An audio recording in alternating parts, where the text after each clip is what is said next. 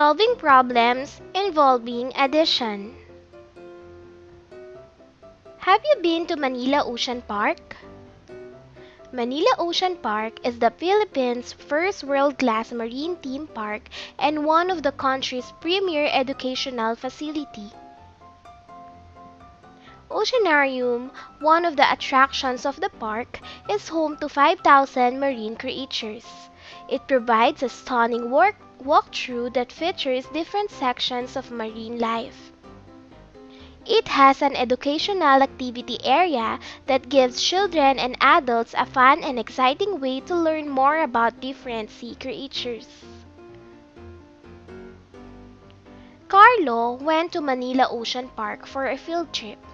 The tour guide told him that there are 245 rainbow fishes and 109 clownfishes in a giant fish tank. How are you going to solve this problem? I want you to meet Rose. She will help us to know all the steps in solving problems. Hi, I'm your friend the word problem solver, Rose. Here are the steps you need to know to solve a word problem easily. First, read, understand, and analyze the problem carefully. Second, identify the given information. Third, find out what is being asked. Fourth, know the operation to be used. Fifth, write the equation or number sentence for the problem. Sixth, solve the answer. And lastly, write the answer with the correct label. Let us now solve the problem. First is, what are the given? The given are the number in the problem. So we have 245 rainbow fishes and 109 clown fishes. Next, what is asked in the problem? Let's find out the question in the problem. How many fishes are there in all? For us to solve this problem, what operation are we going to use? Very good! We're going to use addition. Next, what is the number sentence? Let us use the given in, in writing the number sentence. 245 plus 109 equals n. Always remember, children, in writing the number sentence, you need to write equals n. Then after that, let's now solve the problem. Let's have the solution. 245 plus 109. Always remember to write the numbers vertically according to their place value. So let's solve the ones place. 5 plus 9 equals... Very good, we have 14. Then regroup 1 to the tens place. 1 plus 4 plus 0 equals...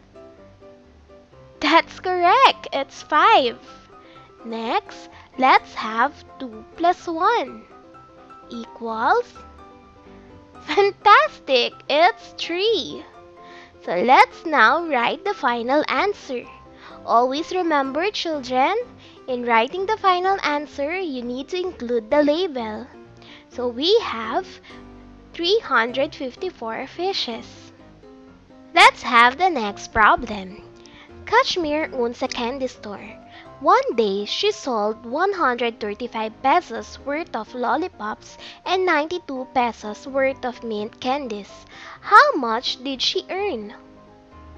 Again, the first thing that we need to do is to write the given. So the given are 135 pesos and 92 pesos. What is asked in the problem?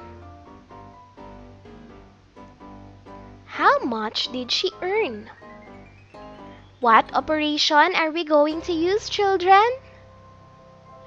Very good, it's addition. Next, let's write the number sentence using the given numbers. We have 135 plus 92 equals n. Always remember to write equals n. Next is, let's have the solution. In doing the solution, all we need to do is to write the numbers vertically according to their place value. So let's solve from the ones place up to the hundreds place. So 5 plus 2 equals... Very good, it's 7. Let's proceed to the tens place. 3 plus 9 equals... Fantastic! It's 12. So we need to regroup 1 to the hundreds place. 1 plus 1 equals... Very good, children. It's 2. So for our final answer, we need to include the label. So we can get the label from the what is asked. So the question here is how much did she earn? So our final answer is she earned 227 pesos. Let's have the last problem. Rafael has marble collection. He counted 83 red marbles, 75 blue marbles, and 101 pink marbles. How many marbles does he have in all? Again, the first thing that we need to do is to identify the given numbers. We have 83, 75, and 101. Next, let's identify the question in the problem. How many marbles does he have in all? Next, let's have the operation.